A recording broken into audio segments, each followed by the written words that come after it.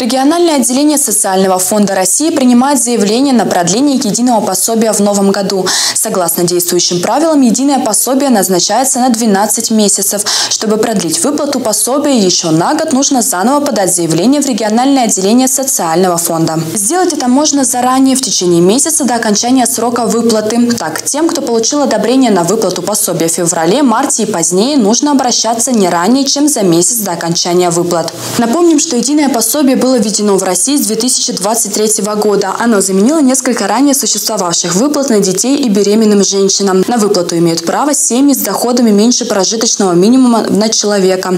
Чтобы средства получили те, кто в них действительно нуждается, при оформлении применяется оценка доходов и имущества семьи. От доходов зависит и размер пособия.